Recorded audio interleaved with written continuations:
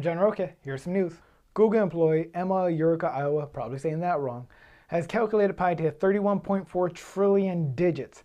When asked how she did that, nobody cared. No, really, you could Google that and get that answer. This is a new world record shattered by almost 9 trillion digits.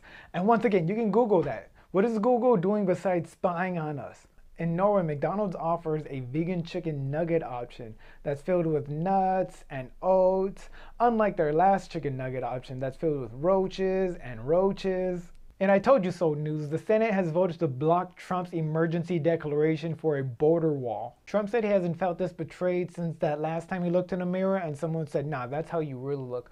Or since that one time when that umbrella didn't want to close on him, or from that one time Michael Cohen told the truth about him on trial? I'm John Roque. Thanks for watching.